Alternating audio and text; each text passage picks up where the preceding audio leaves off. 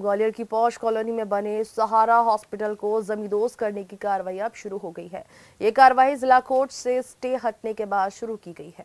जिला कोर्ट में हॉस्पिटल को 9 दिसंबर तक मरीजों को शिफ्ट करने के लिए स्टे दिया था, लेकिन अस्पताल प्रबंधन की ओर से इस पूरी कार्रवाई को गलत ठहराया जा रहा था, लेकिन प्रशासन इस कार्रवाई को अंजाम देने के मूड में है।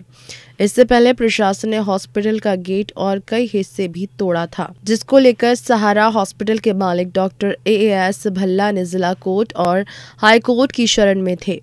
हाई कोर्ट से उनकी याचिका को खारिज कर दिया गया था। जिला कोर्ट ने 9 तारीख तक मरीजों को दूसरा अस्पताल में शिफ्ट करने के आदेश दिए थे, लेकिन डॉक्टर भल्ला ने फिर से कोर्ट में स्टे के लिए आवेदन लगा दिया था, जिसे कोर्ट ने मंगलवार को खारिज कर दिया।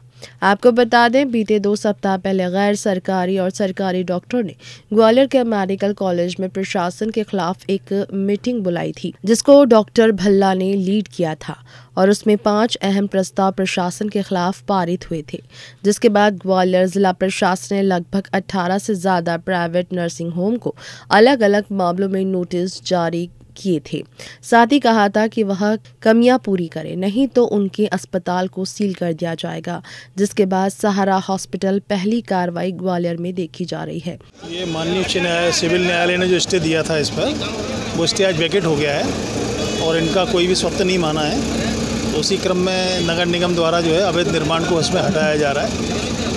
तत्काल तो किस तरीके से तोड़ाई की जाएगी? ऊपर से नीचे ऊपर से लाएँगे हमेशा ऊपर से ही लाते हैं तोड़ाई का तो क्योंकि सेफ़ साइड रहता है जो तोड़ाई तोड़ने वाले रहते हैं वो भी कभी इंजर्ड हो सकते हैं नीचे से अपन तोड़ेंगे ऊपर का गिरता है ऊपर से उसको तोड़ते हुए ला रहे हैं। पूरी तरह से ट्राई की जाएगी हाँ जितना हम प्रयास कर रहे हैं मैक्सिमम हो जाए।